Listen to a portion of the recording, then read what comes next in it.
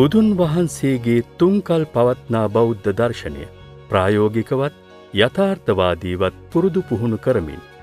ශ්‍රී ලංකාවේ වානිජාග නගරය වූ කොළඹ නගර මධ්‍යයේ යෙහෙන් වැජබෙන ආරාමයකි ගංගාරාමය.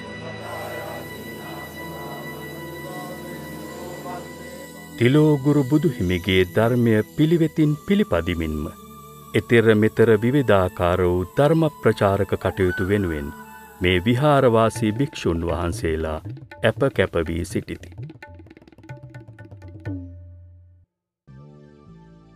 විචිත්‍රවත් ඉතිහාසයකට උරුමකම් කියන ගංගාරාමය කොළඹ පිහිටි ඉපැරණිම පන්සල්වලින් එකකි.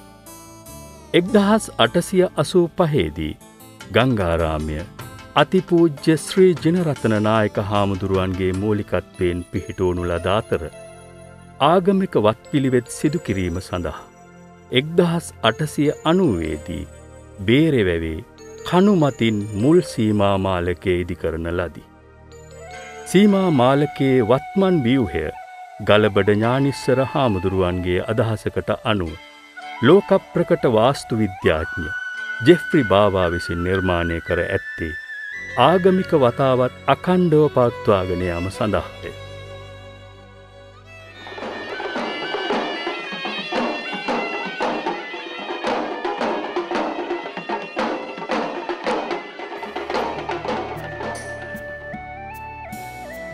වර්තමානයේදී ගංගාරාමය බුදුන් වදාළ ධර්මයට අනුගතව ආගමික සදාචාරාත්මක හා මානුසීය සාරධර්ම නගා සිටුවන කේන්ද්‍රස්ථානයක් බවට පත්වී ඇත.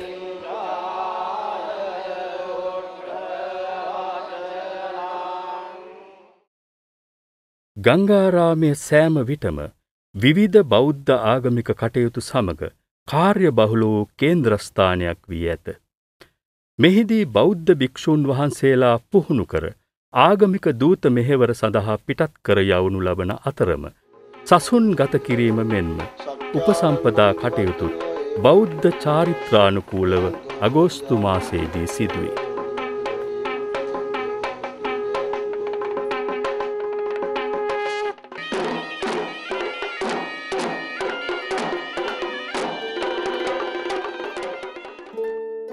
ගංගාරාමේ නිර්මාතෘ ශ්‍රී ජිනරතන මහානාහිමිපාණන් වහන්සේ මහත් උද්‍යෝගයකින් හා අප්‍රතිහත ධෛරයකින් කටයුතු කළ හිමි නමකි.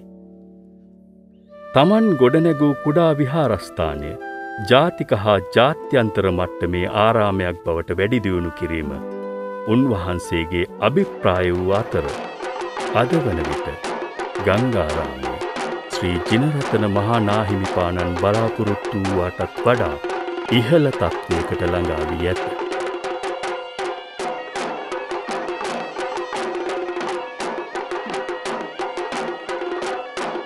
එක්දහස් අටසිය පහළවේදී ශ්‍රී ලංකාව බ්‍රතාන්‍ය අධිරාජ්‍යයේ යටත් පිජිතයක් බවට පත්විය.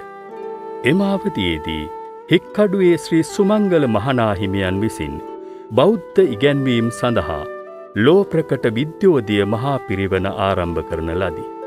උන්වහන්සේගේ ශිෂ්‍යා වූ දෙවුන්දර ශ්‍රී ජිනරතන හිමියෝ කොළඹ හුණුපිටියේ කුඩා විහාරස්ථානයක් ආරම්භ කළහ.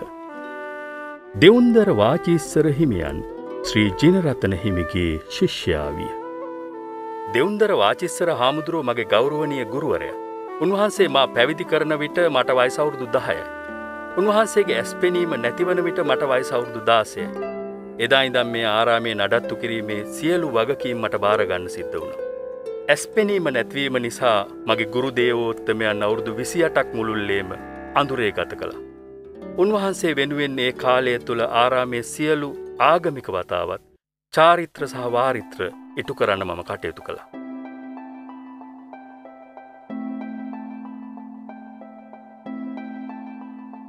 මේ මහා ජයග්‍රහණයේ මූලිකයා වන්නේ පොඩි හාමුදුරුවෝ නමින් ප්‍රසිද්ධ වත්මන් ගංගාරාමාධිපති ගලබොඩ ඥානීස්සර හිමියන්නේ. උන්වහන්සේගේ දැක්ම වන්නේ බුද්ධ දේශනාවේ ඇති න්‍යායික හා ප්‍රායෝගික යන අංස දෙකම සම්මිශ්‍රණය කර ජනජීවිතය පොහොසත් කිරීමයි. උන්වහන්සේගේ කාලේ පිරිවෙන් අධ්‍යාපනය ප්‍රවර්ධනය කළ අතර ජාතික හා ජාත්‍යන්තර මට්ටමින් බෞද්ධ දර්ශනය ප්‍රචාරය කිරීමට භික්‍ෂූන් වහන්සේලා පුහුණු කිරීමේ වැඩසටහනක්ද ක්‍රියාත්මක කළහ.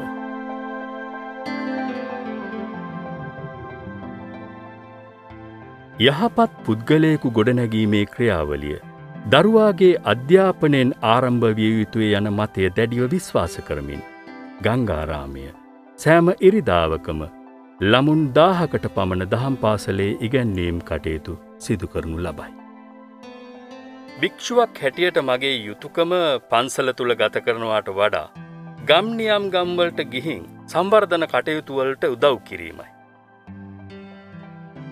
බුදුරජාණන් වහන්සේ දේශනා කළ චරිත භික්කවේ චාරිකම් බහුජන හිතාය බහුජන සුකාය යන බුද්ධ වචනය පිළිපැදීමට තමයි මම බාහිර ගම්නියම් ගම්වලට ගිහින් සේවය කළේ.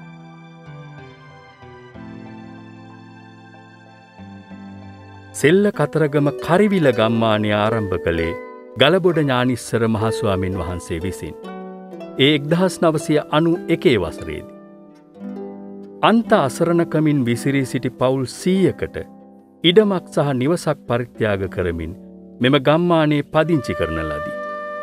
නියගේ නිසා දිගින් දිගටම පීඩාවට පත් වූ ගම්වැසියන්ගේ ජල ගැටලුවට විසඳුමක් ලෙස ජල සැපයුම් යෝජනා ක්‍රම මෙන්ම මම්මාවත් ලබාදීමටත් ගලබොඩ ඥානිස්සර මහනාහිමියෝ සමත් වූහ.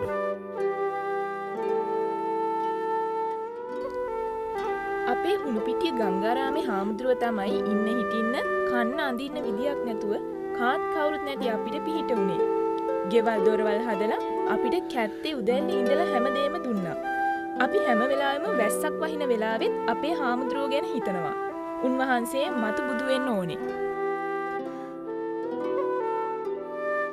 ගලපට ඥානිස්සර මහනාහිමියන් මෙම ගම්වාසීන්ගේ ආර්ථික හා සාමාජය ගැටලු විසඳීමට තම ආරාමෙන් භික්‍ෂූන් වහන්සේලා නිරන්තරයෙන් පිටත් කර යවයි.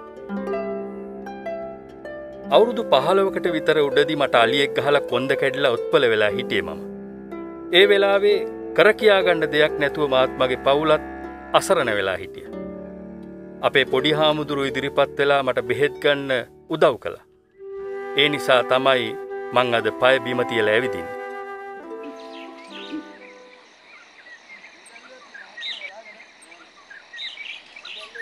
ස්වභාව ධර්මයට දක්වන අසීමිත ආදරයේ නිසාම ගලබොඩ ඥානිස්සර හිමියන් ශ්‍රී ලංකාවේ තර්ජනයට ලක්ව ඇති පරිසරය සුරකීමට උද්‍යෝගිමත් පියවරක් ගෙන තිබේ. අද වෙනවට මෙම ඉඩම් තුළ අඩුවාදායම් ලාබීන්ට ජීවනෝපාය මාර්ගයක් සලසමින් රබර් වගා කර ඇත. එක්දහස් නවසියාසුවේදී බැතිමතෙකු විසින්. අකුරැස්ස ඌරුමුත්ත ප්‍රදේශයේ පිහිටි අක්කර හත්සිය දොළහක භූමිභාගයක් ගංගාරාමය වෙත පරිත්‍යාග කරන ලදී. මෙම ඉටම ගලබොඩ ඥානිස්සර හිමියන්ගේ අප්‍රතිහත දහිරයෙන් සරුසාර වතුයායක් බවට පත් වූයේ පරිසරවේදීන්ට පවා ආදර්ශයක් ලබා දෙමින්.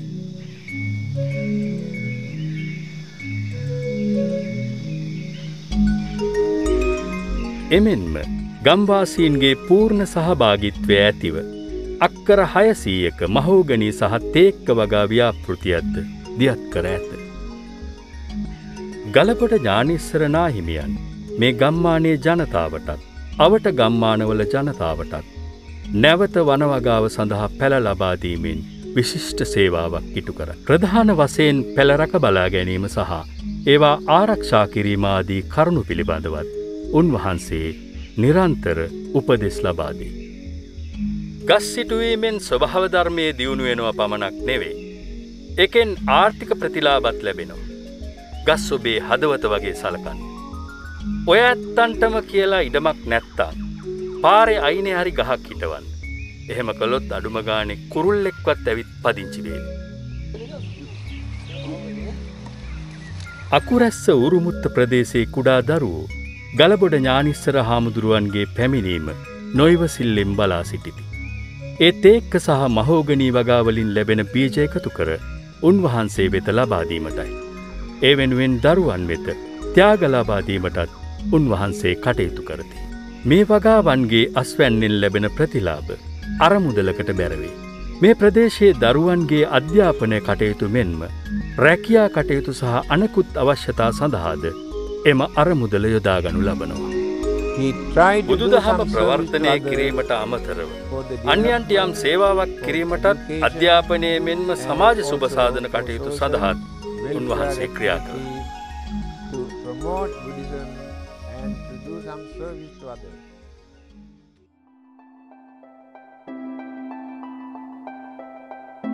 කොට්ටේ මාදිවල පිහිටි ආබාධිත ශ්‍රී ලාංකික දරුවන් සඳහා වූ මධ්‍යස්ථානය ඔවුන්ට නවා තැන් මෙන්ම ආරක්ෂාවද සපයයි.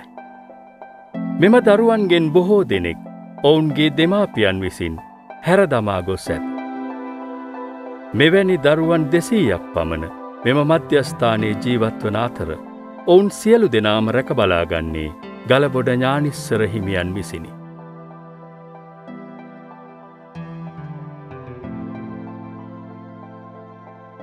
දෙමව්පියන්ගේ අඩු අවධානය හේතුවෙන් අවතැන් වී දුක් විදිනා දරුවන් දස දහස් ගණනක් ශ්‍රී ලංකාව තුළ වෙයි. ඉන් එකසිය පනස් දෙනෙකු කතරගම ළමා නිවාසේ හැදී වැඩෙන අතර. ඔවුන්ගේ අවශ්‍යතා සපුරාලමින් ගංගාරාමය මගින් ඔවුන්ට අවශ්‍ය අධ්‍යාපනය සහ වෘතිය පුහුණුව ලබාදේ.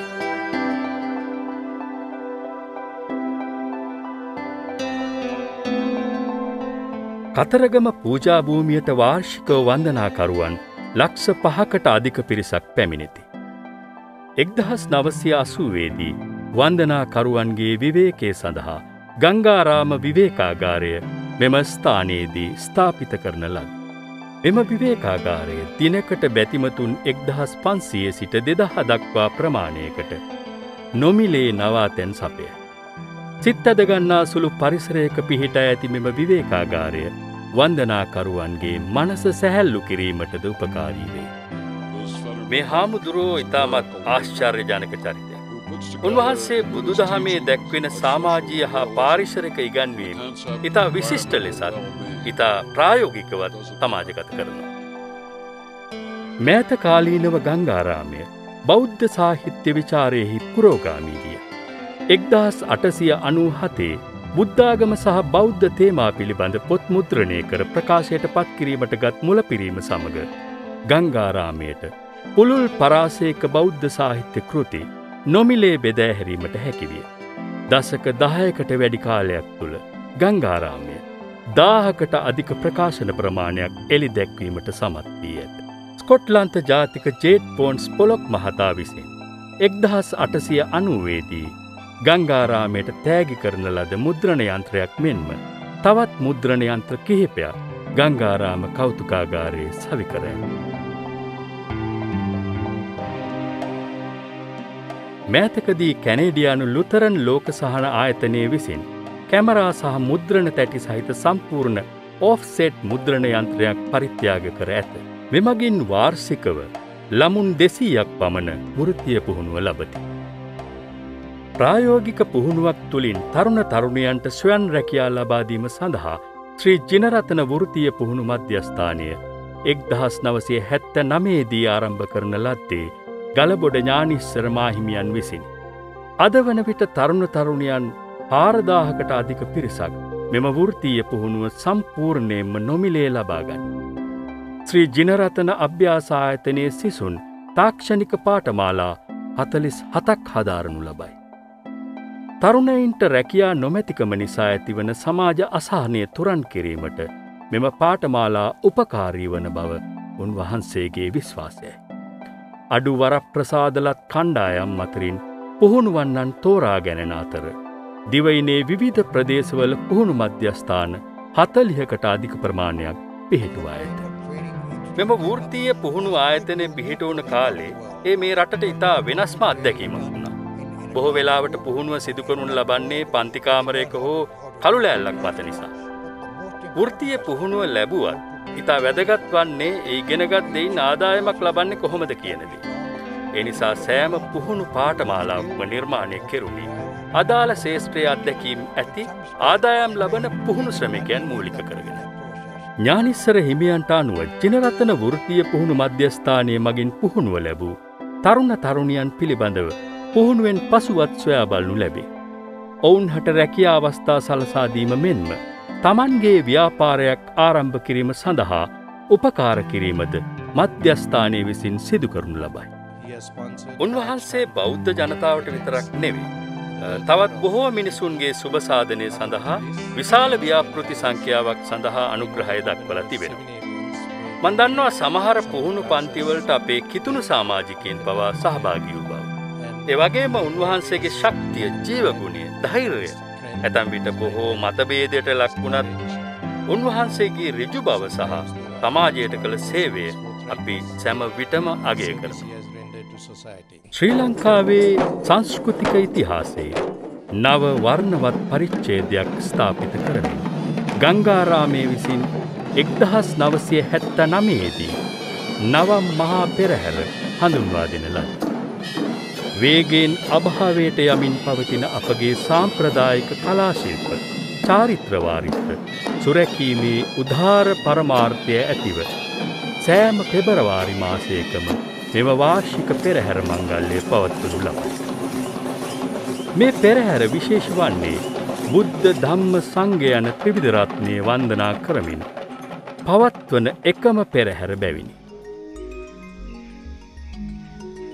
පරිසරය සුරැකීමට ඇති කැපවීම මෙන්ම බෞද්ධ සංස්කෘතියට අදාළ කෞතුක වස්තු ආරක්ෂා කිරීමටද උන්වහන්සේ උත්සුක වී ඇත.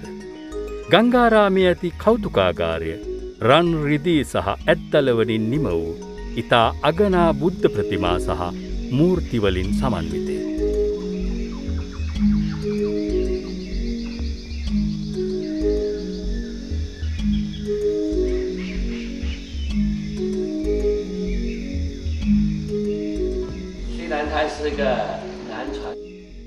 ශ්‍රී ලංකාවේ ගංගාරාමය නූතන ආගමික ජාත්‍යන්තරවාදයේ සංකේතයක්.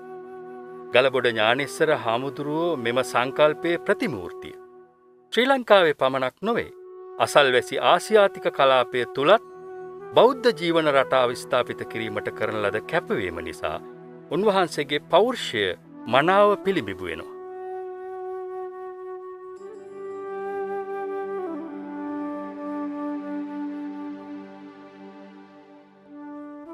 ශ්‍රී ලංකාවේ සමස්ත යහපැවත්ම සඳහා පූර්ණ කැපවීමෙන් කටයුතු කරන ගලබොඩ ඥානිස්සර හිමියෝ.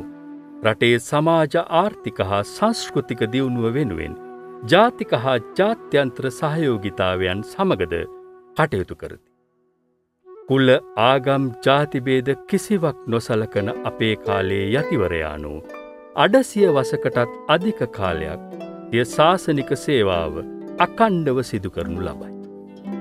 මෙම පුුණ්‍ය භූමියයේ වැඩවසන භික්‍ෂූන් වහන්සේලා සියලු සත්වයන් කෙරෙහිම ප්‍රේමය කරුණාව දයා විහිදුවමින් මනුෂ්‍ය වර්ගයාට සේවය කරන්නාහ. දිවාරෑ දෙකෙහිම බෞද්ධවත් පිළිවෙත් අනුව වන්දනාමාන කර පින්පෙත් සලසාගන්න සැදහැවත් වූ ගංගාරාමය සුලබේ.